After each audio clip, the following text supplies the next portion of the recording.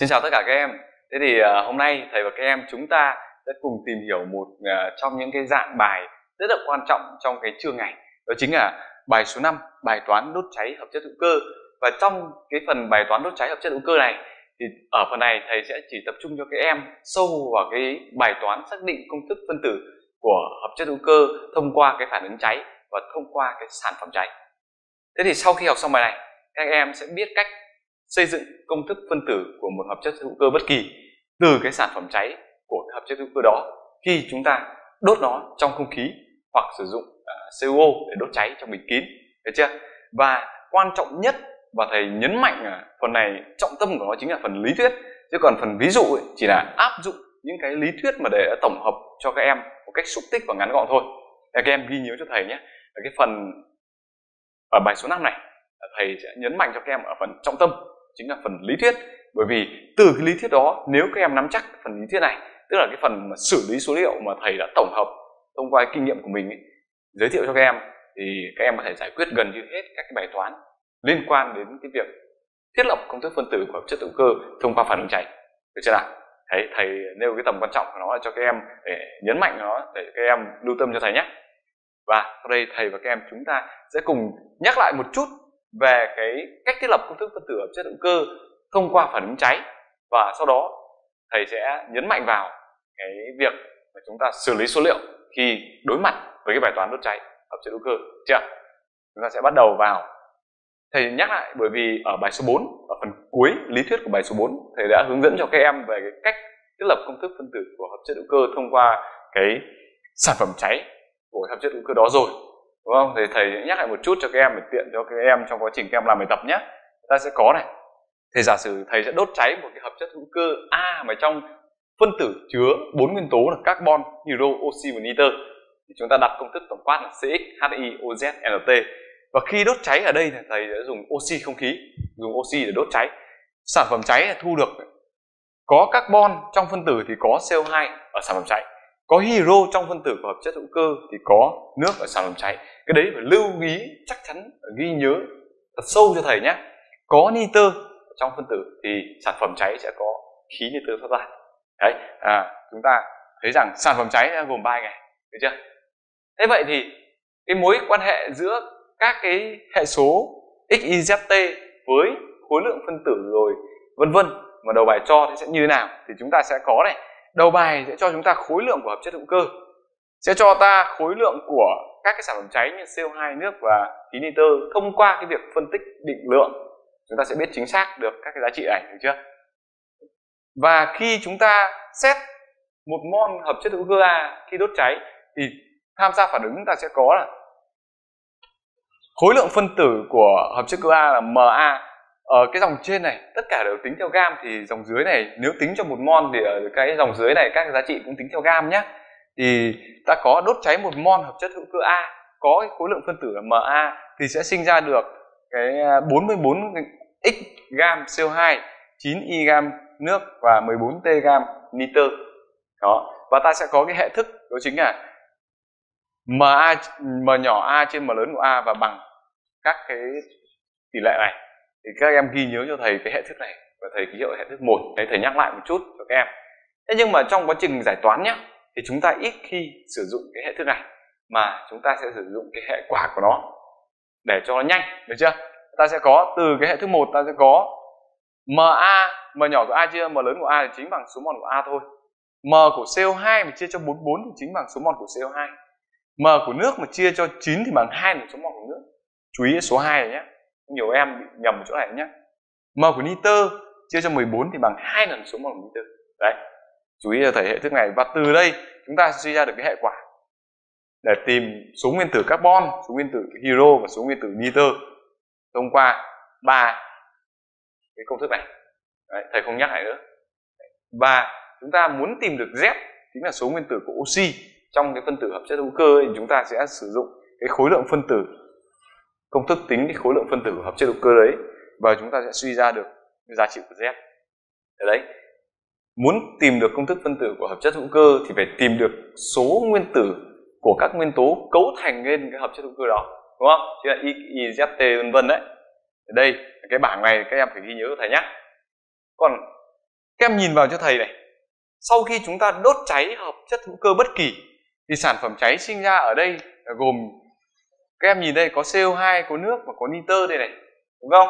Đấy, thế thì cái quan trọng nhất mà khi mà chúng ta gặp đối với cái bài toán đốt cháy đó chính là phải xử lý số liệu liên quan đến cái sản phẩm cháy. Bởi vì muốn tìm được x y z t của chúng ta thì chúng ta phải thông qua cái sản phẩm cháy mà, đúng không? Em nhìn vào đây này. thông qua cái sản phẩm cháy. Thế thì đầu bài à, đối với cái bài toán mà đốt cháy hợp chất hữu cơ thì người ra đề hay biến tướng ở cái phần sản phẩm cháy. Do đó, sau đây thầy sẽ giới thiệu cho các em cái cách xử lý số liệu khi chúng ta gặp các cái dạng toán này. Xử lý số liệu trong bài toán đốt cháy hợp chất hữu cơ. Thầy nói về bản chất một chút đó chính là cái phương trình tổng quát của chúng ta khi đốt cháy một hợp chất hữu cơ bằng oxy và bằng CuO thì sẽ sinh ra sản phẩm cháy. Nói thêm một chút ở đây này không người có thể các em không biết này. Oxy uh, khi chúng ta đốt cháy hợp chất hữu cơ thì có hai con đường để đốt cháy đó hai cách để đốt cháy đó. Thứ nhất là dùng oxy không khí đốt ngay trực tiếp bên ngoài. Thì khi đó thì sản phẩm cháy của chúng ta kiểu gì cũng có lẫn các cái nguyên tố mà có sẵn ở trong không khí. Đó chính là oxy trong không khí và nitơ. Trong đó thì nhớ cho thầy cái tỷ lệ giữa oxy và nitơ có trong không khí, đúng không? Oxy thì chiếm 1 phần 5 thể tích không khí, còn nitơ thì chiếm 4 phần 5 một anh thì là 20 phần trăm, một anh 80 phần trăm thế thì do đó mà khi thu được sản phẩm cháy thì chúng ta phải phân tích rất là cụ thể. Và cái dữ kiện đấy bài toán đấy cũng khá là uh, khó ờ, không phải quá khó nhưng mà sẽ khiến các em bị nhầm lẫn đấy. Để nhớ thế. Còn trường hợp thứ hai để đốt cháy hợp chất hữu cơ đó chúng ta dùng một cái chất oxy hóa. Ở đây là CuO rất là hay dùng là thường dùng là CuO và đốt hợp chất hữu cơ đó trong bình kín và không có chứa không khí. Để tránh cái trường hợp bị lẫn các cái anh ví dụ như uh, nitơ hoặc là oxy trong không khí được chưa? Đấy lẫn vào sản phẩm cháy của chúng ta thì người ta dùng CuO đấy có hai cách như thế nhé. Vậy thì chú ý cho thầy là mỗi hợp chất hữu cơ khác nhau thì khi cháy sẽ sinh ra sản phẩm cháy khác nhau. Điều này là hiển nhiên, đúng không? Thầy nhắc lại nhá mỗi hợp chất hữu cơ khác nhau khi chúng ta đốt cháy thì sẽ thu được cái sản phẩm cháy khác nhau. Điều này là do cái hợp chất hữu cơ đó nó khác nhau về công thức cấu tạo khác nhau về cái cấu tạo tức là khác nhau về công thức phân tử khác nhau về cái sự cấu thành của các nguyên tố tạo lên cái hợp chất hữu cơ đó mà sẽ dẫn đến hiện tượng là sản phẩm cháy sẽ thu được cái sản phẩm khác nhau. Để minh họa rõ hơn cho các em cái này thì thầy sẽ đưa cho các em một số cái công thức uh, cái một số cái phản ứng đốt cháy của một số hợp chất hữu cơ mà các em rất hay gặp từ lớp 11 đến lớp 12 nhá để sau này chúng ta gặp bài toán đốt cháy chúng ta xử lý dễ dàng và biết cách đặt công thức phân tử được chưa? Rất là quý chú ý cho thầy nhé ta sẽ có này. Đầu tiên, đó chính là đốt cháy một hợp chất hữu cơ mà trong thành phần chỉ chứa carbon và hydro. Thì công thức tổng quát là CHI khi đốt cháy thì thu được CO2 và nước. Sản phẩm chỉ có CO2 và nước thôi nhé bởi vì có carbon thì sinh ra CO2 có hydro thì sinh ra nước mà. Đây là cái phần này thì chúng ta sẽ học ở lớp 11 này. đây chính là đốt cháy hydrocarbon đấy. Được chưa? Tiếp theo nữa là nếu mà đốt cháy một hợp chất hữu cơ mà trong thành phần có thêm nguyên tố oxy ta đặt công thức là CXHIOZ và khi đốt cháy, thì anh này sinh ra sản phẩm giống hệt cái anh trên. Đấy, chính là CO2 và nước thôi. Bởi vì trong thành phần cũng chỉ có carbon, hydro và oxy thôi được chưa? Đấy, và hai ngày chúng ta sẽ gặp rất nhiều trong chương trình hữu cơ của 11 được chưa? Chú ý cho thầy nhá, quan tâm cho thầy hai ngày. Sản phẩm cháy chỉ sinh ra CO2 và nước. Ở đây thầy không cân bằng nhé cũng không có cộng với oxy ở phần tham gia phản ứng đâu. Em tự cân bằng viết ở giấy cho thầy nhé. Tiếp theo nếu đốt cháy một hợp chất hữu cơ mà trong thành phần có thêm nguyên tố nitơ thì chúng ta sẽ đặt công thức CKIOZNT ở một số uh, ví dụ thầy đã giới thiệu ở đấy và có nitơ thì khi đốt cháy sẽ sinh ra thêm nitơ. Ngoài CO2 và nước có sẵn ở đây. Được chưa? Tiếp theo các em cũng có thể gặp một số hợp chất hữu cơ mà trong cái thành phần nó chứa các nguyên tố halogen. Ví dụ như là công thức này cứ chứa clo. Chúng ta sẽ đặt là CXHI clo Z. Và nếu đốt cháy hợp chất hữu cơ này mà trong thành phần chứa clo thì sản phẩm cháy của chúng ta ngoài CO2 và nước ra sẽ sinh ra HCl đấy, thì ghi nhớ cho thầy cái đó nhé chứa clo thì đốt cháy sinh ra HCl được chưa nhiều em không biết được uh, cái hợp chất hữu cơ đấy khi đốt cháy sinh ra sản phẩm gì đâu ngoài CO2 và nước. CO2 và nước thì hiển nhiên rồi nhưng mà nhớ các cái sản phẩm này. Tiếp đến này nếu mà chúng ta xét một cái hợp chất hữu cơ nó hơi phức tạp hơn một chút nhưng mà lên lớp 12 các em có thể gặp hoặc thậm chí ở lớp 11 đấy nhá là CHIOZNT nhưng mà có thêm NaK ở đây chính là thêm một cái muối đấy, đấy có thêm muối của natri. Thì khi đốt cháy anh này sinh ra cái gì? Các em thử đoán sản phẩm cháy xem nào. Có em đúng rồi đấy. Nhá, có carbon, có hero thì chắc chắn là phải có CO2 và nước. Điểm chung của các anh này đó chính là đều có CO2 và nước, bởi vì đều có carbon và hero. Có nitơ thì kiểu gì cũng phải có anh này, đúng không?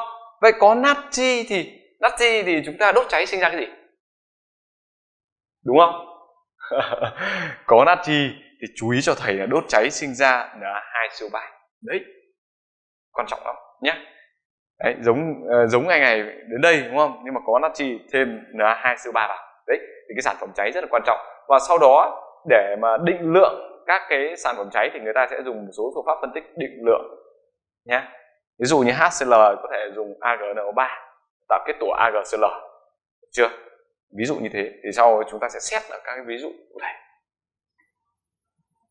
trong phần này các em chú ý cho thầy, ở phần lớp 11 các em sẽ tập trung cho thầy hai công thức này là chính. Hai công thức này là chính. Và sản phẩm cháy chỉ sinh ra CO2 và nước thôi. Mà sản phẩm cháy sinh ra CO2 và nước ấy thì định lượng CO2 và định lượng nước của chúng ta như thế nào thì thầy sẽ phân tích cụ thể cho nhé. Đây, sản phẩm cháy thì sinh ra CO2 và nước thì chúng ta học đâu chúng ta quan tâm đến đấy thôi. Ta sẽ có lưu ý. Đó chính là CO2 và nước, đối với bài toán thực tế thì người ta thường dẫn qua các cái bình có khả năng hấp thụ chúng. Và dẫn qua ở đây ấy, thì nó có hai cách dẫn. Một là dẫn lần lượt hai là dẫn tất cả vào một bình nhớ chưa? Thế vậy thì thường người ta sẽ dẫn CO2 và nước qua các cái bình đựng cụ thể như sau. Thứ nhất là cái bình đựng các cái ờ, chất ví dụ như CaCl2 khan CuS4 khan H2S4 đặc và P2O5 vân vân còn một số chất nữa, khả năng. Thì những cái chất này nó có một cái đặc điểm chung, đó chính là nó khan. Khan tức là gì các em? Khan tức là khan khát đấy. Khát tức là khát nước. Đúng không? Khát nước tức là nó sẽ giữ nước lại. Khi chúng ta dẫn cái sản phẩm cháy của chúng ta mà chứa nước qua, thì nước của chúng ta sẽ bị giữ lại tại cái bình đó. Nghĩa là có phản ứng hóa học xảy ra, nó giữ lại, được chưa? Giữ lại và không còn nước nữa. Thì giữ lại, thì khối lượng của cái bình đó tăng lên. Chính là khối lượng của nước, được chưa? Vậy thì suy ra là nước của chúng ta sẽ bị hấp thụ tại đó. Và khối lượng của bình mà đựng các cái chất này tăng lên chính bằng khối lượng của nước bị hấp thụ vào. Và dễ dàng đem đi cân. Để chúng ta sẽ tính được cái ờ, khối lượng của nước thôi. Đấy là phân tích định lượng nhé từ bài toán thực tế thôi. Thế vậy còn CO2 thì sao? CO2 ấy, thì người ta thường dẫn qua các bình đựng dung dịch kiềm cái bài toán giữa CO2 tác dụng dung dịch kiềm mà thầy đã giới thiệu các em quá nhiều rồi đúng không? Ở, ở các cái ở cái phần trước thầy đã giới thiệu cho các em về cái bài toán này rồi.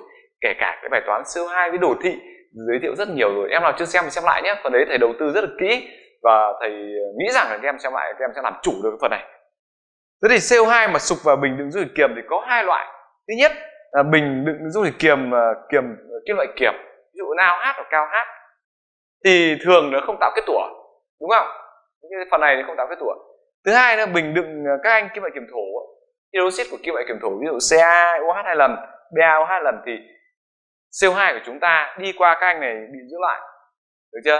Cái trường hợp ờ, đi qua hai anh kim loại hydroxit của kim loại kiềm thổ thì sẽ bị giữ lại và tạo kết tủa đấy nó có một số hiện tượng như thế mà chúng ta cần nhớ trong quá trình giải toán. Chưa?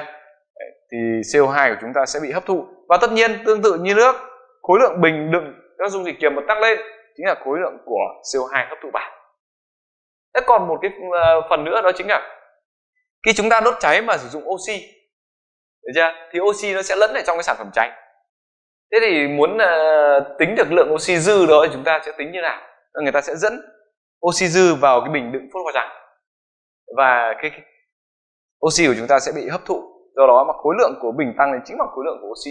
Đấy thì thầy đã giới thiệu cụ thể cho các em một số cái vấn đề liên quan đến cái xử lý số liệu của CO2 và nước. Nhưng ở đây thầy sẽ tập trung trọng tâm một chút nữa cho các em vào cái bài toán CO2 là sản phẩm cháy của cái hợp chất hữu cơ của chúng ta ấy, dẫn vào bình đựng dung dịch kiềm cái phần này các em hay gặp hay gặp hơn. Thầy sẽ giới thiệu cho các em sâu vào phần đó. Đó chính là CO2 và nước dẫn qua bình đựng dung dịch kiềm thì thầy sẽ nói nhanh thôi nhưng mà các em nhớ ghi lại cho thầy nhé ghi chép vào phần này nó thật các em là không có ai tổng kết lại cho các em đâu nên các em phải ghi vào nhé. Người ta sẽ có này. CO2 mà dẫn vào bình dung dịch kiềm thì sẽ có các cái trường hợp xảy ra. Trường hợp thứ nhất, nếu đầu bài cho chúng ta là kiềm sử dụng là dư, người ta sẽ ghi ngay cái chữ dư lên cái đầu bài ấy. Thì ta sẽ có này. Sản phẩm chỉ tạo ra muối trung hòa là CO3 hai trừ nhớ lại kiến thức ở cái phần bài toán CO2 tác dụng dung kiềm nhé. Nếu mà dung dịch kiềm dư CO2 hoặc nước của chúng ta dục vào đây thì sẽ tạo ra muối trung hòa. Nếu uh, khi tạo ra muối trung hòa rồi thì ta có cái biểu thức là số mol của CO2 đúng bằng cái số mol của cái ion CO3 hai trừ đó. Và đặc biệt hơn nữa nếu dung dịch kiềm của chúng ta sử dụng à, uh, hydroxit của các kim loại kiềm thổ này thì sản phẩm muối của chúng ta tạo thành uh, kết tủa đúng không? Và số mol của CO2 đúng bằng số mol kết tủa. Được chưa? Đấy có một số cái uh, hệ thức một số cái uh, dữ kiện liên quan đến phần này thầy đưa hết lên đây cho các em đấy nhé và nhớ cho thầy là chắc chắn cái khối lượng của cái dung dịch kiềm của chúng ta sẽ bị giảm đi. Nhớ nhé phần này thầy sẽ giải thích cụ thể ở trong phần ví dụ. Nhưng nhớ đối với trường hợp kiềm dư thì cái khối lượng của phần dung dịch kiềm ấy sẽ bị giảm đi chứ không tăng lên. Bởi vì do nó tạo ra kết tủa này. Đấy được chưa? Đấy là trường hợp kiềm dư. Trường hợp thứ hai nếu kiềm không dư thì sao? Không dư thì nó khó khăn hơn đấy nhá. Dư người ta ghi sẵn ở đầu bài rồi nhưng mà không dư ấy, thì người ta sẽ không nói cho các em đâu. Do đó mà các em phải xét các trường hợp và cụ thể cho thầy này, nếu kiềm không dư thì chú ý, ta sẽ có, sẽ tạo ra hai muối. Nghĩa là không chỉ tạo ra muối carbonat trung hòa đâu, mà còn tạo ra cái muối gì các em có nhớ không? Chính xác quá rồi. Đó chính là tạo ra cái muối hydrocarbonat vậy ta sẽ có là sinh ra hai muối là muối hydrocarbonat và muối carbonat đấy tạo ra hai muối này cơ. Và chú ý cho thầy nữa là khi đó ta có, có là số mol CO2 sẽ được tính bằng số mol của CO3 2 trừ cộng hai lần số mol của HCO3 trừ. Được chưa? Hay cụ thể hơn nữa là số mol của carbon có trong CO2 thì bằng số mol của carbon có trong CO3 2 trừ cộng hai lần số mol carbon có trong HCO3 trừ. Và muốn à, và có được cái cái cái công thức này đó chính là do chúng ta áp dụng cái định luật bảo toàn carbon được chưa? Đấy nhá. Tiếp đến này. Có một số uh, dữ kiện nữa mà thầy muốn trình bày lên đây cho các em nữa. Để các em uh, nốt phần này thôi nhưng mà ghi vào cho thầy này. Rất quan trọng. Đó chính là khối lượng bình đựng dung dịch kiềm tăng lên. Chính bằng cái khối lượng mà cái sản phẩm cháy chúng ta hấp thụ vào ở đây là CO2 và nước. Đầu bài sẽ cho câu này nên là phải nhớ cho thầy. Chính là khối lượng của bình đựng dung dịch kiềm tăng chính bằng tổng khối lượng của CO2 và nước hấp thụ vào. Chúng ta hấp thụ vào bao nhiêu thì bình nó sẽ tăng lên bấy nhiêu. Được chưa? Đấy là công thức thứ nhất. Công thức thứ hai à, khối lượng của dung dịch sau phản ứng tăng lên. Dung dịch đây là dung dịch kiềm. Được chưa? Có nghĩa là ban đầu thì nó như nó có khối lượng như thế này. Nhưng mà khi chúng ta sụp cái CO2 vào nước vào đây thì khối lượng của nó sẽ có hai trường hợp. Thứ nhất là tăng nghĩa là khối lượng của dung dịch kiềm sau phản ứng tăng lên thì sẽ chính bằng cái phần làm cho nó tăng trừ đi cái phần làm cho nó giảm. Đấy, các em nhìn lại một chút về công thức này sau đó thầy phân tích thêm này. Phải phải nhớ cho thầy công thức này nhé nhớ này phần làm cho cái dung dịch kiềm nó tăng chính là cái phần CO2 và nước chúng ta hấp thụ vào. Đúng không? Đổ thêm vào mà. Ê, sau khi đổ vào thì nó phải phản ứng. CO2 sẽ phản ứng với dung dịch kiềm. Nước thì hòa tan ở trong dung dịch, đúng không? CO2 tác dụng với dung dịch kiềm thì sẽ tạo ra kết tủa. Kết tủa thì là phần rắn phần rắn thì chúng ta loại bỏ ra ngoài. Do đó, cái phần rắn đó chúng ta phải trừ đi. Do đó mà, phần làm tăng chính là khối lượng của CO2 và khối lượng của nước. Còn phần làm cho nó giảm đi chính là phần kết tủa tạo thành. Do phần rắn chúng ta loại đi, đúng không? Đấy nhá, công thức thứ hai. Công thức thứ ba là khối lượng của dung dịch sau phản ứng giảm đi khối lượng của dung dịch ừ, sau phản ứng giảm là do chính là bằng ờ, phần làm cho nó giảm trừ phần làm cho nó tăng. Cái hiện tượng này xảy ra là do khi chúng ta xịt sục ờ, CO2 và nước vào ấy thì uh, cái lượng kết tủa tạo ra nhiều quá nó nhiều hơn. Đúng chưa? Nhiều hơn cả cái phần làm cho tăng lên. Do đó mà ta sẽ có uh, khối lượng của dung dịch sau phản ứng nó giảm đi. Được chưa? Người ta có phần làm giảm thì đây này? M kết tủa chưa đi phần làm tăng chính là m của CO2 cộng m của nước thế thôi. Đấy. Ngoài ra ấy, thầy nhắc thêm một chút cho các em phải lưu ý trong quá trình làm bài tập nữa chúng ta có thể phối kết hợp hai cái định luật định luật bảo toàn khối lượng và định luật bảo toàn nguyên tố vào đây. Học cái phần hữu cơ nhá. Phần vô cơ thì cũng áp dụng định luật bảo toàn khối lượng và bảo toàn nguyên tố rất là nhiều đúng không? Thế còn phần hữu cơ thì còn áp dụng nhiều hơn nữa. Do đó phải ghi nhớ cho thầy là đừng bao giờ tách rời hai cái định luật này ra khỏi đầu của các em khi các em giải toán liên quan đến hữu cơ. Được chưa đấy thì trên đây là thầy đã liệt kê cho các em uh, một số cái uh, cách chúng ta xử lý số liệu trong cái bài toán đốt cháy hợp chất hữu cơ rồi. Và nhớ cho thầy là không có tài liệu nào người ta tổng hợp một cách cụ thể như này đâu. Nên thầy hy vọng rằng các em hãy ghi chép thật là kỹ vào. Và khi các em ghi chép thật kỹ rồi hãy làm các cái ví dụ để xem chúng ta ra chiến trường thì chúng ta có, có chiến thắng không nhé thế thì sau đây thầy sẽ cùng các em làm một số ví dụ điển hình. Và nhớ cho thầy trọng tâm phần này chính là ghi thật nhớ thật kỹ cho thầy cái phần xử lý số liệu. Được chưa nào? Các em đã sẵn sàng để chúng ta cùng ra chiến trường chưa? Bắt đầu làm các cái ví dụ cụ thể nhé. Thế sau đây thầy và các em chúng ta sẽ cùng làm một số ví dụ cụ thể để chúng ta hiểu rõ hơn về phần lý thuyết mà thầy đã đưa ra ở video trên. Thế thì nhớ cho thầy nhá, à, đọc thật kỹ cho thầy phần lý thuyết nhá, phần xử lý số liệu và cách thiết lập công thức phân tử của hợp chất hữu cơ nhá. Để à, chúng ta làm tốt các cái ví dụ, được chưa? Thế sau đây à, chúng ta xét ví dụ đầu tiên, các em đọc đầu bài cùng thầy nào. Đốt cháy hoàn toàn 0,3 gam hợp chất hữu cơ A rồi cho toàn bộ cái sản phẩm cháy đó lần lượt đi qua các cái bình bình thứ nhất đựng 24 đặc bình thứ hai đựng CaO hai lần thì thấy khối lượng các bình tăng lên lần lượt là 0,18 gam 0,22 gam đồng thời có 112 ml khí nitơ thoát ra ở điều kiện tiêu chuẩn. Biết tỷ khối của A so với hydro là 30 và xác định công thức phân tử của A thì đây là một cái bài tự luận thầy muốn đưa ra cho các em. Hãy đọc kỹ đầu bài thì thầy đọc như thế thì có thể có thể là hơi nhanh. Thì các em hãy đọc kỹ lại và gạch chân một số cái ý mà đầu bài đã đưa cho các em và thầy đã tô vàng trên này này thế sau đây là thầy sẽ à, phân tích một chút đầu bài cho các em sau đó chúng ta giải chi tiết nhé. Bài toán này cũng không phải là một bài toán khó. Phải nói là cũng không phải là bài toán khó nhưng đối với những em nào mà chưa quen ấy thì nó sẽ làm khó các em đối với cái việc mà các em xử lý số liệu. Được chưa? Đây chúng ta cùng phân tích một chút này. Ở đây ấy, hợp chất hữu cơ A của chúng ta bị đốt cháy hoàn toàn. Nghĩa là 0,3 gam đó bị đốt cháy hết đi hoàn toàn. Được chưa?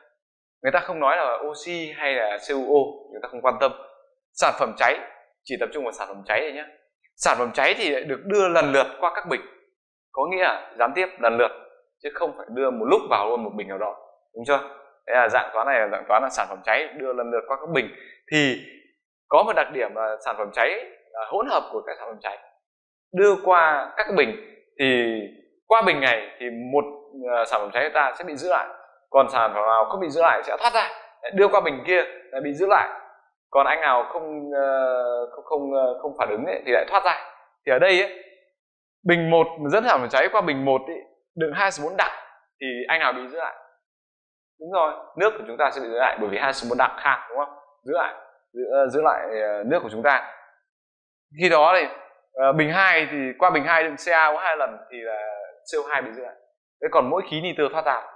Đấy thế thì khối lượng ờ, của các bình lần lượt tăng lên là tương ứng là khối lượng của các cái chất các cái khí bị giữ lại đó. Đầu bài cho biết tỷ khối thì chúng ta sẽ tính được m m lớn của a.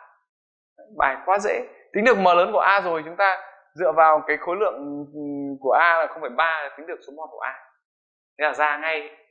Đầu tiên nhé thầy sẽ giải chi tiết nhé đầu tiên này chúng ta sẽ gọi công thức phân tử của a là CXHIOZNT vì sao thầy gọi được công thức phân tử của a như thế này? Em nào biết giơ tay? Chính xác. Vì đầu bài nó cho chúng ta chúng ta biết là sinh ra CO2 nước và có nitơ. Do đó chúng ta phải gọi công thức phân tử như như này. Sau này làm quen rồi, vào trắc nghiệm thì không cần phải gọi, được chưa? Nhưng mà đây là bài tự luận nên chúng ta phải trình bày. Nhớ chưa các em? Khai thác dữ kiện đầu bài nào? Khai thác dữ kiện là tỷ khối của A so với hydro trước nhé để tìm MA ta có là tìm MA theo công thức là MA bằng M của hero nhân tỷ khối của A số hero và kết quả là bằng 60 tìm được MA rồi chúng ta sẽ tính được số mol của A bằng khối lượng của A chia cho khối lượng uh, phân tử của A đấy bằng 0,05 mol tính được số mol của A chúng ta để đấy đã. Bây giờ chúng ta phải đi tìm cái ờ, số mol của CO2 số mol của nước số mol của nitơ. Chúng ta sẽ suy ra được XYZT thôi đúng không? Cụ thể khối lượng bình một tăng tức là bình đựng hai muốn đặc tăng đi qua đây nước bị giữ lại và cái phần tăng lên chính bằng khối lượng của nước. Và bằng 0,18 gam theo đầu bài. Được chưa? Tính được khối lượng của nước rồi chúng ta sẽ suy ra được số mol của nước. Sẽ bằng 0,18 chia cho 18 bằng 0,01 mol. Được chưa? Tiếp nhá khối lượng của bình hai tăng tức là bình đựng ờ, uh, CO hai lần tăng đi qua đây CO2 bị giữ lại phần tăng lên chính là khối lượng của CO2 có khối lượng của CO2 đầu bài cho bằng 0,2 gam. Suy ra số mol của CO2 sẽ bằng 0,22 chia cho 44 và khối lượng phân tử của CO2 bằng 0,05 mol. Quá dễ dàng. Học xong phần này rồi chỉ việc bấm máy thôi không cần phải trình bày nữa đúng không? Tiếp đến khai thác tiếp dữ kiện của nitơ. Đó chính là đầu bài cho nitơ là thể tích bằng 1,112 ml điều kiện tiêu chuẩn. Đổi ra lít rồi chia cho 22,4 chúng ta sẽ ra được số mol của nitơ bằng 0,05 mol đó vậy thì để tìm được XYZT chúng ta sẽ áp dụng các cái hệ quả ở phần uh, lý thuyết thầy giới thiệu đó chính là X chính là số nguyên tử carbon thì bằng số mol của CO2 chia cho số mol của hợp chất hữu cơ A. Trong đó thì số mol CO2 chúng ta tính được ở đây chính bằng 0,05 mol. Số mol của A chúng ta đã tính được là bằng 0,05 mol. Vậy x của chúng ta bằng 1. Tìm được x rồi đúng không? Tìm y. Y thì bằng hai lần số mol của nước chia cho số mol của A. Thay số vào bằng 4. Số mol của nước bằng 0,01 nhân 2 chia cho 0,005. Tìm à, T theo dữ kiện đầu bài thì bằng hai lần số mol của nitơ chia số mol A các em thay số vào cho thầy nhé. Thì bằng 2. Vậy ta tìm được x bằng 1, y bằng 4 và t bằng 2. Đúng không? Còn tìm z thì ta có là tìm z là từ cái công thức uh, từ cái khối lượng phân tử của A này. này. Mặt khác ta có MA thì bằng 12x cộng y cộng 16z cộng 14t bằng 60. Trong đó x bằng 1, y bằng 4, t bằng 2 thay số vào cho thầy tìm ra z bằng 1 vậy đã tìm được hết x y z t chưa tìm được rồi đúng không vậy a của chúng ta chính là c h 4 o n 2 đấy tìm chính xác cụ thể ra x y z t rồi các em chỉ cần thay vào công thức phân tử ở trên mà chúng ta gọi kìa. À, các em sẽ tìm ra được công thức phân tử của a. Được chưa? Đấy thì thầy kết thúc cái bài toán này một cách rất đơn giản cho các em. Đấy à, chúng ta cùng chuyển sang các ví dụ tiếp theo. Chúng ta cùng chuyển sang ví dụ số 2. Cùng đọc đầu bài với thầy nào. Đầu bài bảo đốt cháy hoàn toàn 0,025 mol hợp chất hữu cơ X thì cần dùng 1,12 lít oxy ở điều kiện tiêu chuẩn. Dẫn toàn bộ sản phẩm cháy thu được lần lượt qua bình 1 thì đựng P2O5 than và bình 2 đựng CaOH hai lần dư.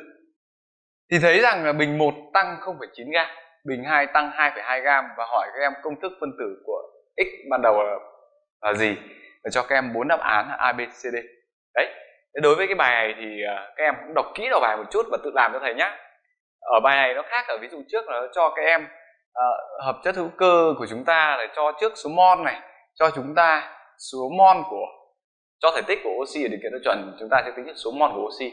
Cái bài này có thể giải theo rất nhiều cách. Thế nhưng uh, thầy sẽ đi theo một cái cách mà một cách tường minh diễn giải cho các em để các em quen dần với cái hướng giải bài ở dạng uh, tự luận.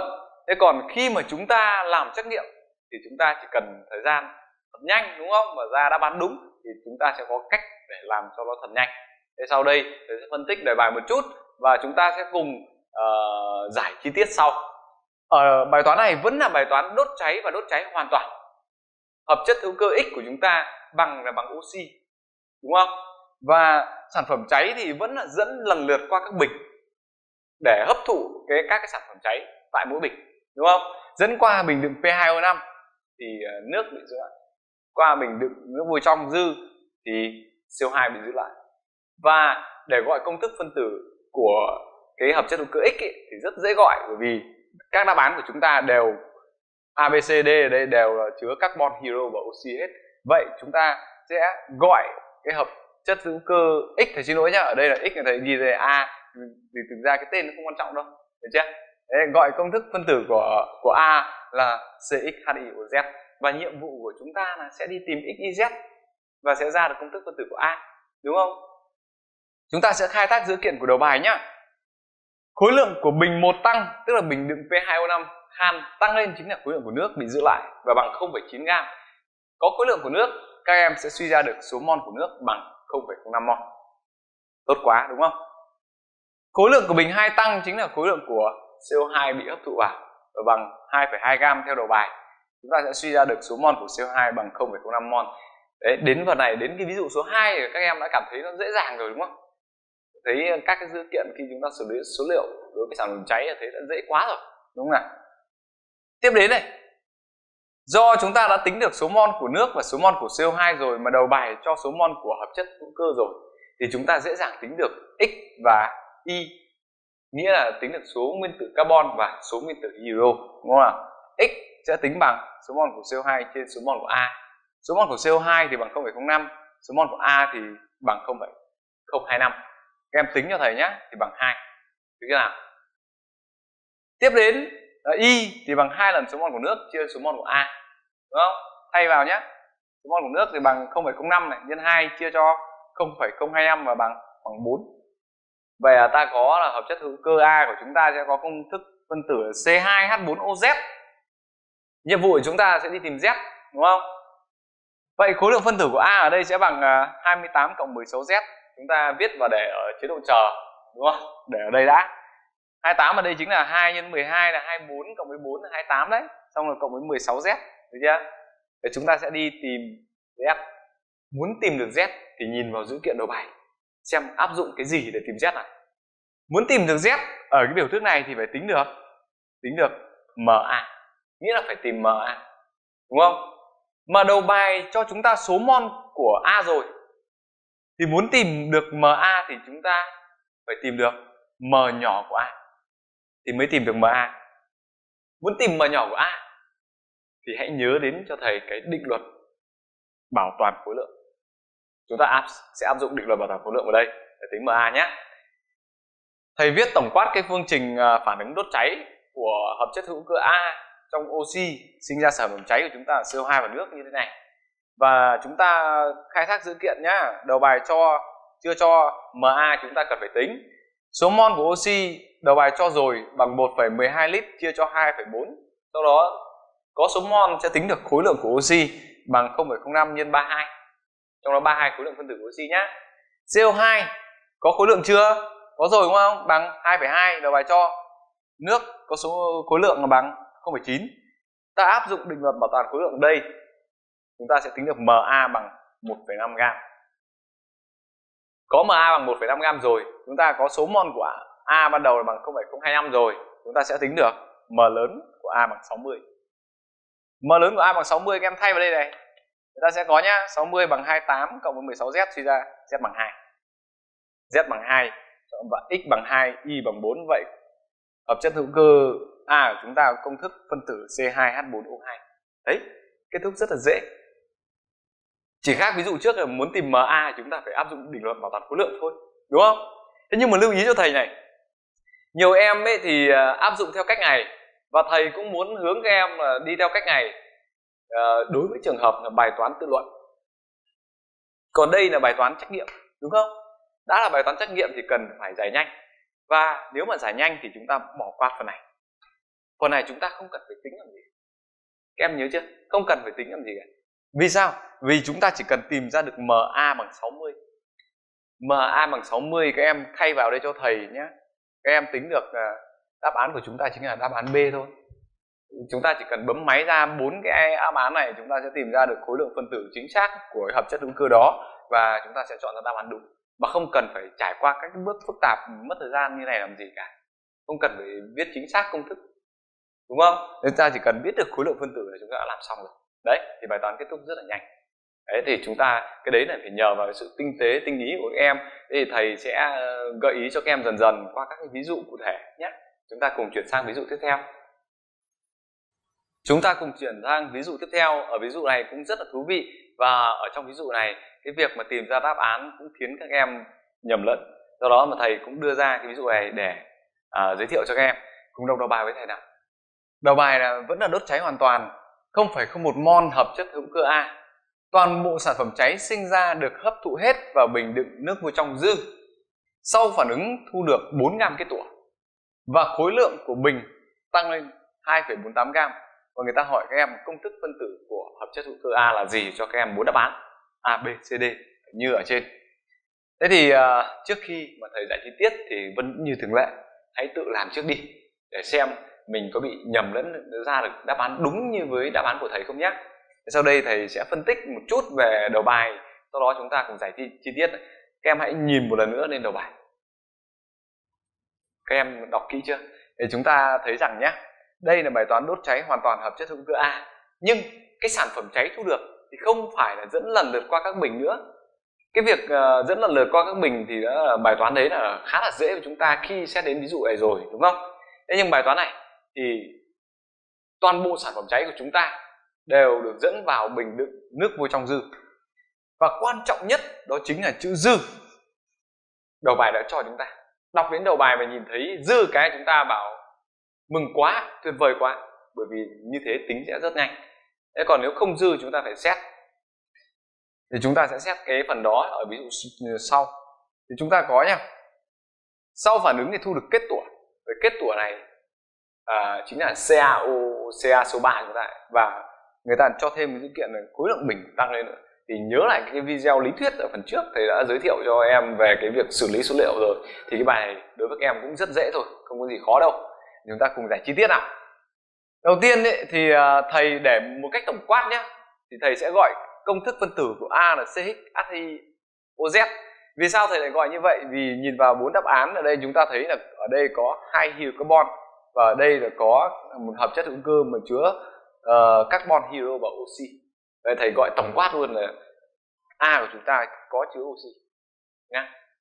sau đó chúng ta khai thác uh, dữ kiện để thầy uh, mô hình hóa lên trên này cho các em này. Uh, hợp chất hữu cơ A đốt cháy sinh ra sản phẩm cháy là CO2 và nước. Bởi vì cả hydrocarbon và cái hợp chất hữu cơ mà chứa oxy ở đây nữa carbon hydro oxy thì khi đốt cháy đều ra sản phẩm giống nhau được chưa? Đều sinh ra CO2 và nước thôi sau đó thì toàn bộ CO2 vào nước này sẽ được hấp thụ hết vào bình đựng CaOH hai lần dư. Được chưa? Hấp thụ hết vào.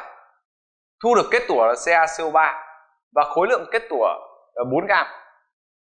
Đầu bài cho khối lượng kết tủa 4 gam mà khối lượng phân tử của anh này là 100 vậy số mol của anh này là bằng 0,04 mol và nhớ cho thầy đối với cái bài toán mà sục dung dịch kiềm vào nước vui trong dư đã dư rồi đúng không? Thì cái số mol của CO2 đúng bằng số mol kết tủa và bằng 0,04 mol có số mol của CO2 rồi đầu bài cho số mol của hợp chất hữu cơ A rồi chúng ta sẽ tính được số nguyên tử carbon có trong hợp chất hữu cơ A chính là giá trị x ấy. x chính bằng số mol của CO2 chia cho số mol của A. Và các em thay số bằng 0,04 chia cho 0,01 bằng bằng 4 vậy chúng ta đã tìm được x. Tiếp đến để tìm được uh, tìm được x rồi các em nhìn vào đáp án nhé thì các em loại được cho thầy đáp án A đúng không? Em loại dần đi. Em muốn uh, loại tiếp các đáp án tiếp theo thì chúng ta phải đi tìm các cái nguyên tố ờ, số nguyên tử của các nguyên tố tiếp theo. Bây giờ chúng ta sẽ đi tìm số nguyên tử của hero tức là tìm y đấy. Thì ta khai thác cái dữ kiện này, khối lượng của bình đựng dung dịch kiềm này, này nó tăng lên là 2,48 gam. Nó tăng lên chính là toàn bộ cái khối lượng tổng khối lượng của CO2 và nước chúng ta hấp thụ vào đúng không? Ta sẽ có nhá khối lượng bình tăng này tính bằng tổng khối lượng của CO2 và nước chúng ta hấp thụ vào bằng 2,48 gam. Trong đó thì khối lượng của CO2 các em đã biết rồi đúng không? Bởi vì các em đã biết số mol của CO2 chúng ta sẽ biết được khối lượng của CO2 từ đó suy ra khối lượng của nước. Dễ dàng quá đúng không? Tương đương nhá. Khối lượng của CO2 thì bằng 44 nhân 0,04 cộng với khối lượng của nước thì bằng và bằng 2,48 từ đó ta suy ra được khối lượng của nước bằng 0,72 gam tính được khối lượng của nước chúng ta sẽ tính được số mol của nước bằng 0,04 mol. Tính được số mol của nước chúng ta sẽ tính được y số nguyên tử hydro có trong hợp chất hữu cơ A bằng hai lần số mol của nước chia cho số mol của A.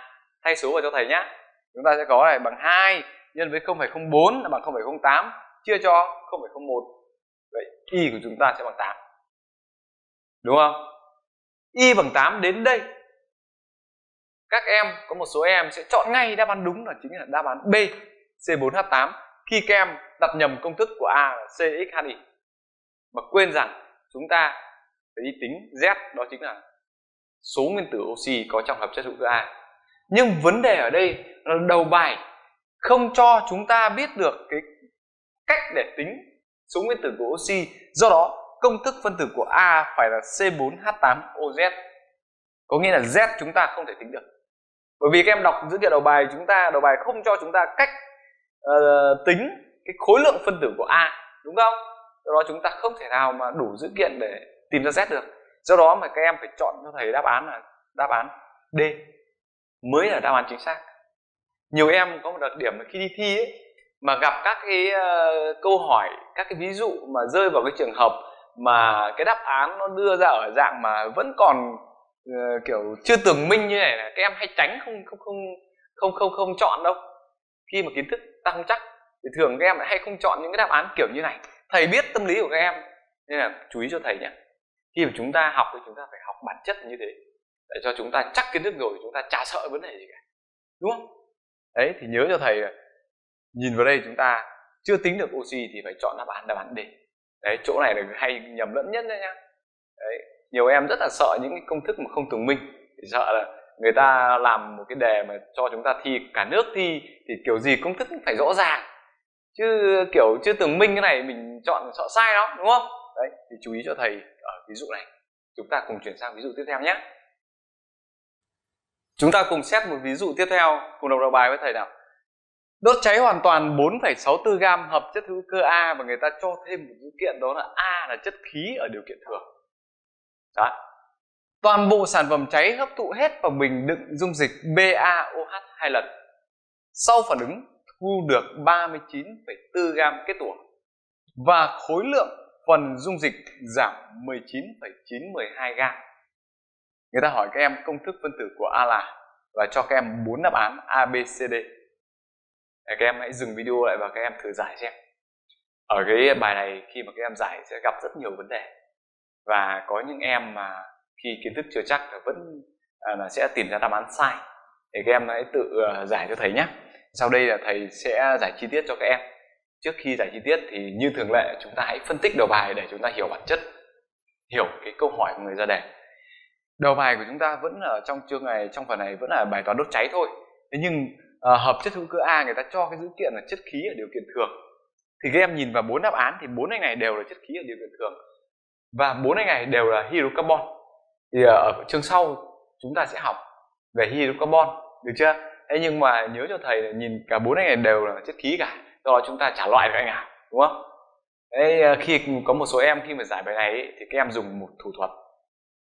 Đó là chính là đầu bài đã cho khối lượng của hợp chất hữu cơ A và cho chúng ta bốn đáp án nghĩa là chúng ta sẽ tính được khối lượng phân tử của cái hợp chất hữu cơ A đó và các em lấy m nhỏ để chia cho m lớn của bốn cái đáp án này. Và các em thấy số mol của anh nào tròn thì các em chọn đáp án. Đúng là đáp án mà cái số mol tròn đó. Thế nhưng rất tiếc cho các em, người ra đề người ta đã biết được điều đó.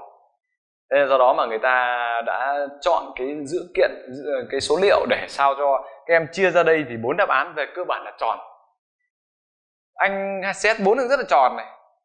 C4H10 cũng rất là tròn các em không biết chọn do đó thì các em không thể nào mà tung đồng xu được. Được chưa? Đấy. Cái tiếp theo đó chính là sản phẩm cháy của chúng ta thì à, hấp thụ hết vào bình đựng dung dịch BaOH hai lần. Thế nhưng ở đây cái bình đựng dung dịch kiềm này đầu bài không cho chúng ta biết là dư hay hết. Đấy. Thế nên nó sẽ khác ở ví dụ trước. Ví dụ trước thì cho chúng ta là dư ví dụ này không nói gì cả. Khi các em đọc mà không thấy nói gì cả thì các em cần phải lưu ý cho thầy, xem lại video lý thuyết để chúng ta biết, được chưa? Cách giải sau phản ứng thì thu được kết tủa, đúng không? Và khối lượng dung dịch thì giảm đi. Bấy nhiêu gam đây này. Thế thì sau đây thầy sẽ giải chi tiết cho các em nhé xem cho thầy cái video này và video này và các em mình nhớ kỹ cái giải cho thầy nhé đầu tiên là chúng ta sẽ à, gọi công thức phân tử của cái hợp chất hữu cơ đó là CXI bởi vì đầu bài đáp án là, bốn đáp án đều là ở dạng CHI hết, tức là hydrocarbon. Khi đốt cháy thì sản phẩm cháy, toàn bộ sản phẩm cháy, khi đốt cháy sinh ra CO2 và nước. Hấp thụ hết vào bình đựng BaO2 hai lần. Thực ra là hấp thụ vào bình đựng BaO hai lần chứ cũng chưa chắc là hấp thụ hết đâu, được chưa? Thì sinh ra kết tủa. Kết tủa đây là BaCO3 thế nhiều em đến đây nhé thì các em xem cái ờ, ví dụ trước, thì đến đây là các em sẽ ờ, lấy cái khối lượng kết tủa đầu bài đã cho và chia cho khối lượng phân tử của BaCO3 các em lấy ra số mol. Sau đó các em như ví dụ trước các em cho nó là bằng đúng bằng số mol của CO2 là sai làm ra kết quả sai các em cứ thử làm đi. Chắc chắn là sai mà các em phải nhớ cho thầy ở đây đầu bài không nói cho chúng ta biết là anh này là dư do đó chúng ta không biết được CO2 của chúng ta phản ứng với dung dịch kiềm à, có phản ứng hết hay không. Do đó mà chúng ta phải gọi số mol của hai ngày tham gia phản ứng với dung dịch kiềm. Thầy gọi A là số mol của CO2 tham gia phản ứng. Còn B là số mol của nước. Được chưa? Ta sẽ có này. Khai thác dữ kiện đầu bài. Đầu bài cho khối lượng của phần dung dịch bị giảm đi. Mà ở phần lý thuyết thầy đã nói rồi, đúng không? Cái phần khối lượng ờ, khối lượng của một cái, của cái phần dung dịch bị giảm ấy, thì chính bằng cái khối lượng kết tủa, trừ đi cái khối lượng, tổng khối lượng của CO2 và nước hấp thụ vào được chưa nào? Nhá thì nói lại một chút này. Khối lượng của phần dung dịch giảm chính bằng phần làm cho nó giảm trừ phần làm cho nó tăng. Phần làm cho nó giảm chính là phần kết tủa phần làm cho nó tăng chính là phần CO2 và nước hấp thụ. Được chưa? Đấy ta sẽ có và bằng đầu bài cho bằng 19,912 đấy để ta sẽ thay vào thôi. Ta sẽ có tương đương này. Và khối lượng kết tủa này bằng 39,4 đầu bài cho còn khối lượng của CO2 bằng 44A bởi vì ta đặt số mol là A mà. Còn khối lượng của nước bằng 18B và bằng 19,912 các em suy ra cho thầy là 44A cộng 18B bằng 19,488 và gọi đó là phương trình thứ nhất. Ta có hai ẩn thì cần phải có hai phương trình để giải. Đúng không? Để tìm ra A và B. Tìm ra A và B rồi sẽ, sẽ tìm ra công thức của hợp chất hữu cơ A ban đầu thôi. Đúng không? Thế muốn tìm thêm một cái phương trình nữa thì làm như thế nào?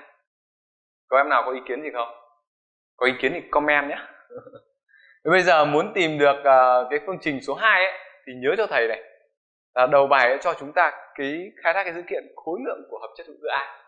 Đúng không? Ta sẽ có áp dụng định luật bảo toàn khối lượng cho hợp chất hữu cơ A. Thầy nhắc lại một chút. Về cái định luật bảo toàn khối lượng thì các em đã biết rằng à, áp dụng định luật bảo toàn khối lượng thì có hai cách đó là áp dụng định luật bảo toàn khối lượng cho phương trình phản ứng. Có nghĩa là cho phản ứng, đúng không? Chúng ta đã học về cái phần đó rồi. Thứ hai là áp dụng bảo toàn khối lượng cho một chất. Tức là một chất là một cái hợp chất ấy, thì tổng khối lượng, cái khối lượng của nó sẽ bằng tổng khối lượng của từng nguyên tố mà cấu thành lên cái hợp chất đó. Được chưa?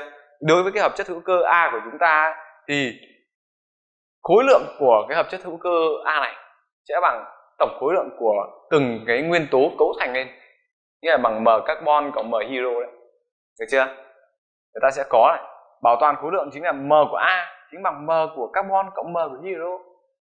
Trong đó thì ma chúng ta biết rồi bằng 4,64 m của carbon thì chính bằng ờ, đầu bài bằng 4,64 gam nhá ma thì tương đương ta sẽ có nhá. M của carbon chính là 12a trong đó 12 là khối lượng nguyên tử của carbon a là số mol. M của hydro thì bằng 2b chú ý ở chỗ này nhé. Bởi vì khối lượng nguyên tử của hydro bằng một nhưng mà số mol b ấy, thì chúng ta đặt ban đầu là của nước mà nước có hai nguyên tử hydro cơ. Do đó ở đây phải là 2b nhiều em làm nhanh biết cách giải đấy nhưng mà làm nhanh lại ghi ở đây chỉ có b thôi. Thế là sai. Và bằng 4,64 chúng ta có hệ phương trình hai ẩn. Hai phương trình hệ phương trình hai ẩn chúng ta giải được ra ab ngay đúng không? Giải 1 và 2 ta sẽ suy ra được a thì bằng 0,348 mol. B thì bằng 0,232 mol. Trong đó a là số mol của CO2 nhé. Còn b là số mol của nước. Đến đây đầu bài không cho chúng ta cái khối lượng phân tử của A và không cho chúng ta uh, do đó chúng ta không biết được số mol của A do đó chúng ta không thể nào mà tìm được xy chính xác được mà chúng ta phải đi tìm cái công thức đơn giản nhất đúng không? Người ta sẽ có số mol của C trên số mol của H. Chính bằng 0,348 chia cho 2 nhân với 0,232 chú ý nhá chỗ này phải là 2 nhá. Bởi vì B là số mol của nước mà. Còn đây là hydro nó phải nhân 2 vào. Và ta thấy được cái tỷ lệ là 34 đấy tỷ lệ 34 tức là công thức đơn giản nhất của cái hợp chất hữu cơ A này chính là C3H4 đấy là công thức đơn giản nhất. Chưa phải công thức phân tử đâu nhá và công thức thử nghiệm của nó chính là C3H4 tất cả N lần. Đúng không? Thế vậy thì bây giờ N bằng mấy? Và công thức phân tử của A là gì? Rất đơn giản, đầu bài cho các em là điều kiện là A là chất khí ở điều kiện thường rồi. Mà nhớ cho thầy, đó chính là nếu một hợp chất hữu cơ mà ở, là chất khí ở điều kiện thường ấy, thì trong cái công thức thử nghiệm này n phải luôn nhỏ hơn hoặc bằng một nhớ thầy như thế nhé đấy. Thế nên nếu mà n nhỏ hơn bằng một thì chỉ có trường hợp đáp án của chúng ta đó là đáp án c là đúng thôi đó là c 3 h được chưa nào? Đấy là nếu đầu bài mà không cho a là chất khí thì điều kiện thường các em nhìn vào đây cái công thức đơn giản nhất của nó là c 3 h 4 rồi, thì nhìn lên bốn đáp án này chỉ có anh C là đúng rồi đúng không? Không cần phải cầu kỳ là dựa vào cái điều kiện này nữa. Đấy. Thì chúng ta linh hoạt trong quá trình giải toán cho thầy nhé thì trên đây là thầy đã kết thúc cái ví dụ này ở ví dụ này có một số điểm lưu ý thầy đã nhấn mạnh rồi. Mình ghi nhớ kỹ cho thầy nhé đấy, các em cố gắng chịu khó mà tua lại video và đọc kỹ lại cho thầy. Thế là chúng ta cùng chuyển sang các ví dụ tiếp theo. Chúng ta cùng chuyển sang ví dụ tiếp theo cùng đọc đầu bài với thầy. Đốt cháy hoàn toàn 0,2 mol hợp chất hữu cơ A chỉ chứa carbon và hydro. Toàn bộ sản phẩm cháy sinh ra được hấp thụ vào bình đựng 0,25 mol CaOH hai lần, thu được 10 gram kết tủa và khối lượng dung dịch kiềm tăng 14,8 gram. Người ta hỏi các em công thức phân tử của A là và cho các em bốn đáp án ABCD. Đấy. Các em dừng video lại và tự giải cho thầy ra cái quyển vở ngay bên cạnh các em đó và để xem đáp án có trùng với thầy không nhé Thì sau đây thầy sẽ phân tích đầu bài một chút và thầy sẽ giải chi tiết cho các em trước khi chúng ta đi vào giải chi tiết thì chúng ta phân tích đầu bài và chú ý cho thầy đây là một bài rất hay thầy phải nói đây là một bài khá hay và bài này sẽ có những cái điểm khiến các em nhầm lẫn. Do đó thầy sẽ nhấn mạnh trong quá trình giảng các em ghi nhớ cho thầy và chép lại vào quyển vở của mình. Các em không thể uh, lúc nào không nhớ thì các em lại mở video xem được. Nên là các em trong quá trình xem hãy chép lại nhé thế thì uh, phân tích đầu bài chúng ta thấy đầu bài cho trước chúng ta số mol của hợp chất hữu cơ A đúng không? Rất dễ dàng rồi.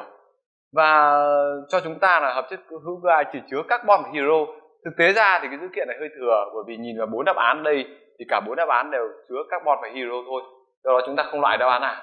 Nên mà đưa cái phần này vào thì không cần thiết. Sản phẩm cháy của chúng ta sinh ra lúc này là toàn bộ sản phẩm cháy sẽ hấp thụ vào bình đựng nước trong dư. Thì ở đây ấy, chúng ta thấy rằng là hợp chất hữu cơ A của chúng ta chỉ chứa carbon và hydro do đó sản phẩm cháy chỉ là CO2 và nước thôi hấp thụ vào bình đựng dung kiềm nhưng vấn đề ở chỗ hãy dừng lại ở đây cho thầy. Đó là bình đựng dung dịch kiềm cho rõ số mol nó khác với trường hợp ờ, các trường hợp khác ờ, CaO hai lần của chúng ta cho dư, một trường hợp mà không nói gì, trường hợp này cho rõ số mol thế cái trường hợp cho rõ số mol này, các em cũng cần phải lưu ý, bởi vì nó không nói dư mà, do đó chúng ta cũng không biết được cách giải đâu, mà chúng ta phải phân loại ra, được chưa? Ở đây cho rõ số mol thì chúng ta sẽ giải như thế nào? Thu được 10 gram kết tủa thì đó là kết tủa CaCO3 chúng ta tính được rõ số mol. Nó khác với ví dụ trước. Đó là cái khối lượng dung dịch kiềm thì không phải giảm mà là tăng.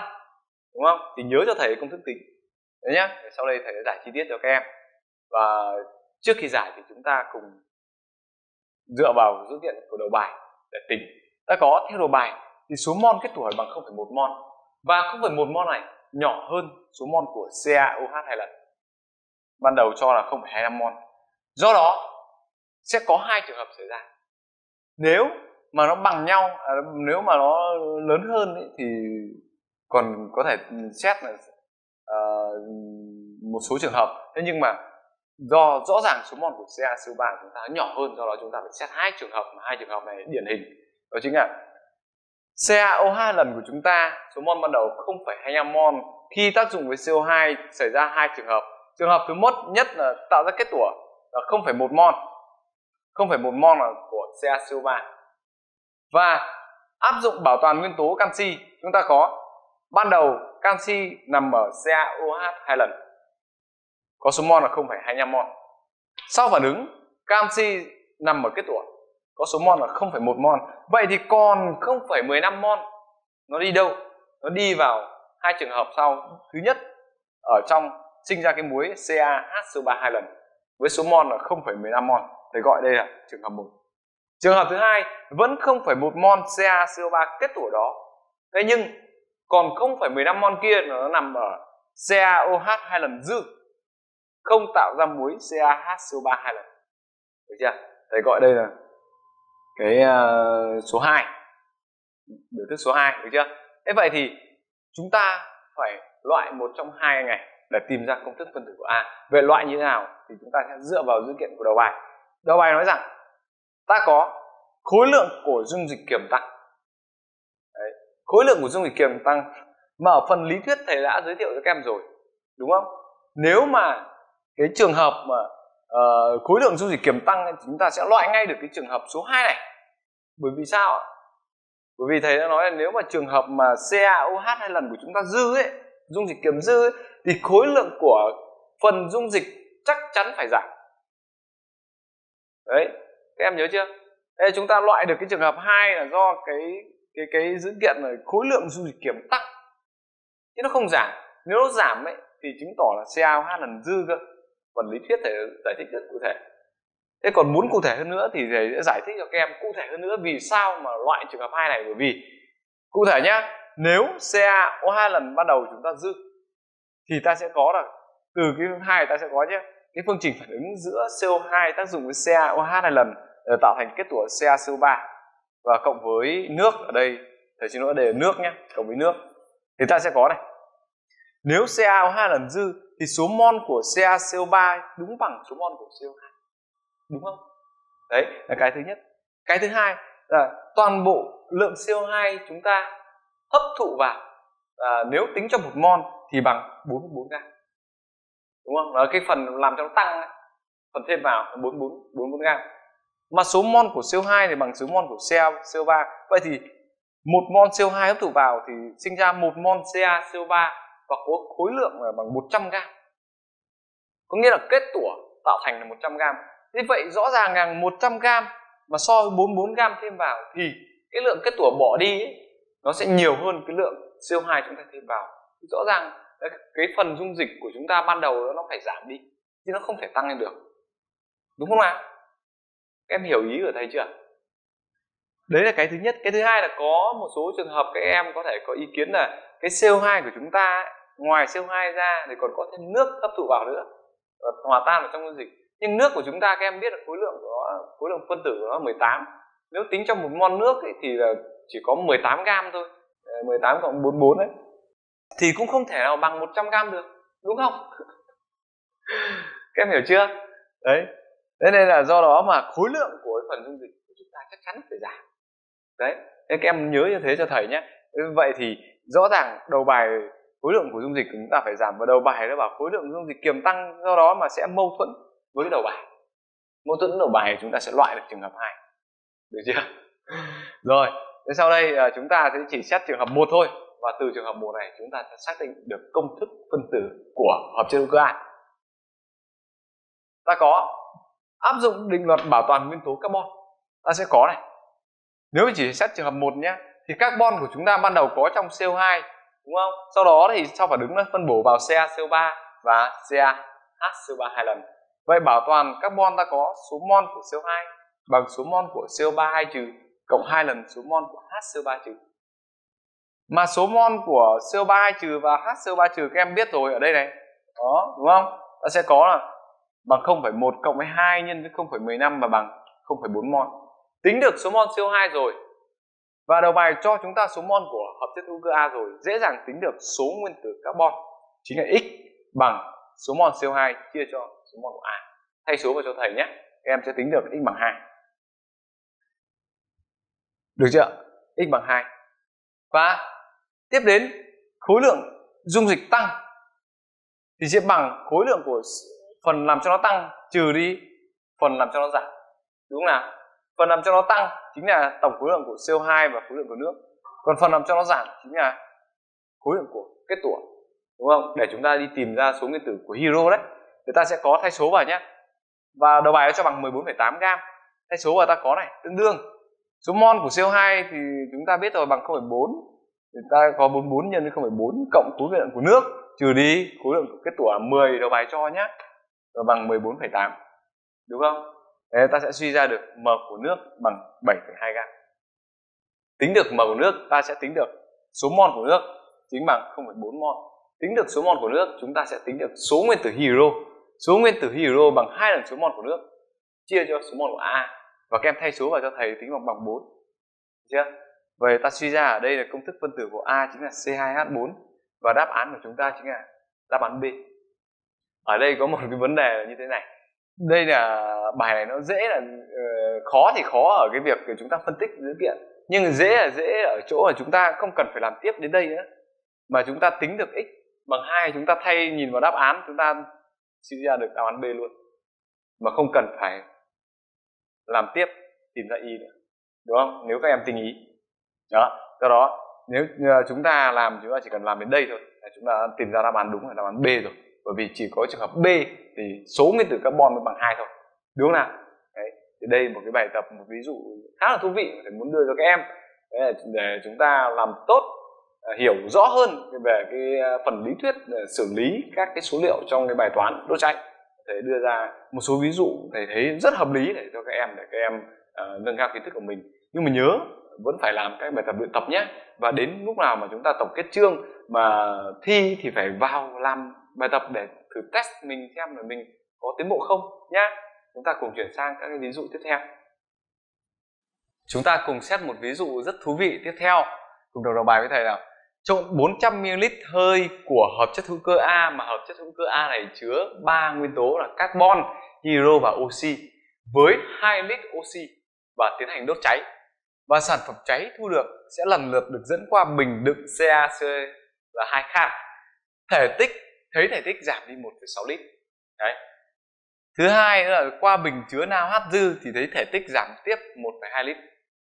Và còn lại 400ml oxy dư thoát ra người ta hỏi các em hãy xác định công thức phân tử của A.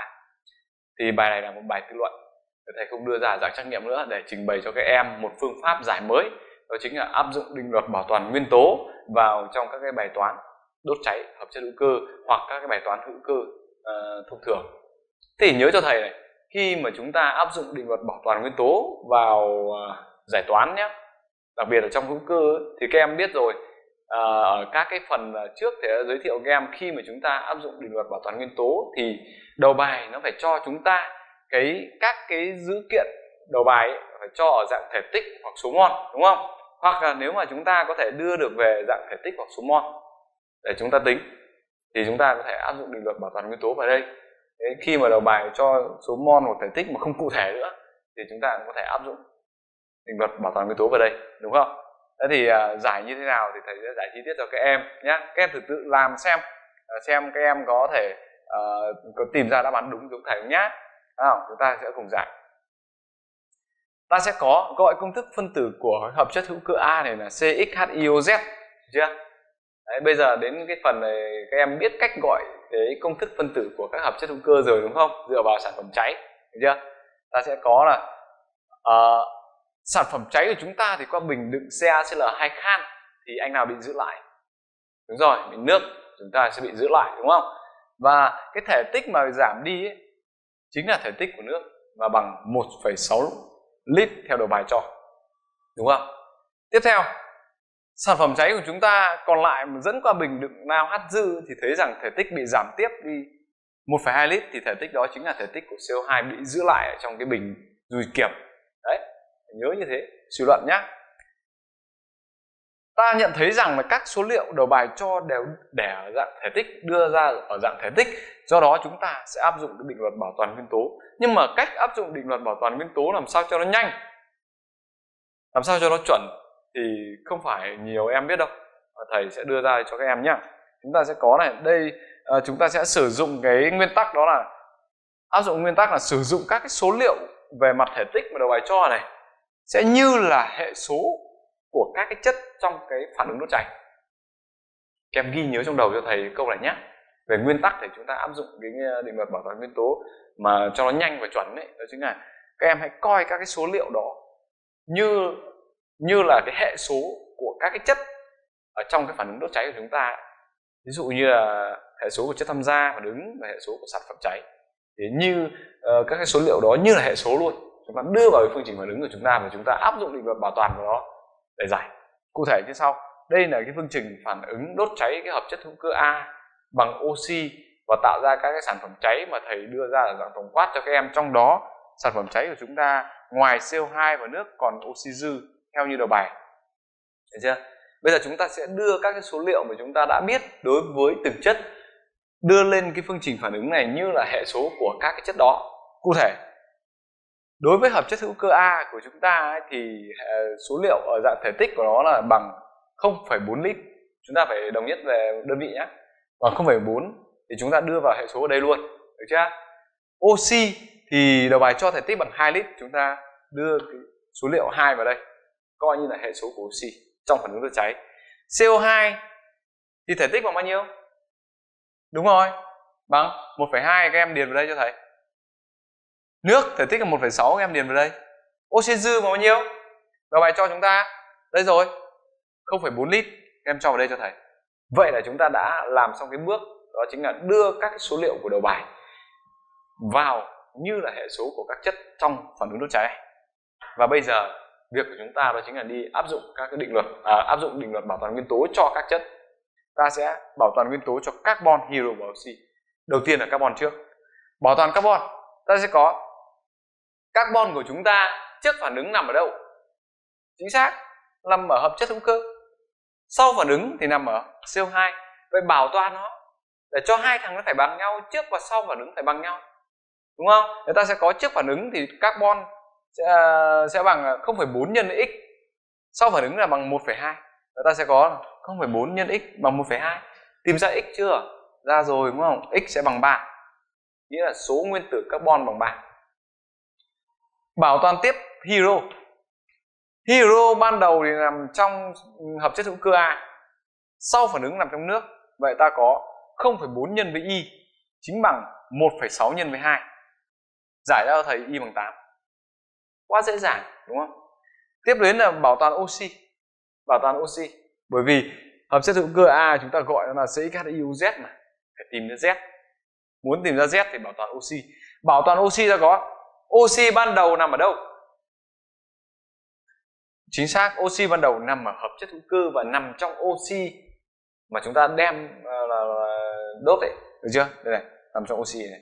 Hai ngày trộn với nhau mà. Và sau phản ứng thì nằm trong ba ngày. CO2 nước và oxy dư. Vậy ta sẽ có 0,4 Z cộng 2 nhân với 2 cộng với 1,2 nhân với 2 cộng với 1,6 cộng với 0,4 nhân với 2 và cuối cùng Z sẽ bằng 2 vậy thì công thức phân tử của hợp chất hữu cơ A chúng ta chính là C3H8O2 Đấy, vậy bài toán kết thúc một cách rất đơn giản. Thế nhưng mà không phải em nào cũng biết cách áp dụng như thế này đúng không? Để nhớ cho thầy về cái nguyên tắc nhé khi mà đầu bài cho chúng ta các số liệu ở dạng thể tích hoặc số mol hoặc có thể đưa về thể tích hoặc số mol nhưng không thể uh, tính ra số mol hoặc là thể tích cụ thể không thể tính ra số mol cụ thể của chất thì chúng ta áp dụng định luật bảo toàn nguyên tố. Và muốn áp dụng định luật bảo toàn nguyên tố vào cái phản ứng đốt cháy ấy, thì nhớ nguyên tắc là đưa các số liệu đó coi như là hệ số của các cái chất trong cái phương trình phản ứng đốt cháy. Và lúc đó chúng ta áp dụng định luật bảo toàn vào chúng ta sẽ đi ra được các cái giá trị x y z chúng ta. Đấy.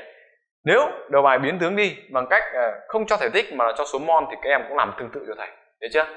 Thế thì trên đây là một số ví dụ mà liên quan đến cái phần bài toán uh, xác định công thức phân tử của hợp chất hữu cơ thông qua bài toán đốt cháy thông qua sản phẩm cháy. Mà thầy đã gọi là đầu tư rất nhiều thời gian để xử lý số liệu phân tích số liệu và đưa ra các ví dụ cho các em. Thì thầy hy vọng rằng sau một loạt các video về lý thuyết và ví dụ của thầy bài tập của thầy thầy ờ, thì các em sẽ nắm chắc cái kiến thức ở phần này để các em bước đi những bước đi uh, vững chãi để chúng ta bước vào các cái chương sau những chương cụ thể hơn liên quan đến hydrocarbon và các hợp chất. Để thầy chúc các em một tốt nhé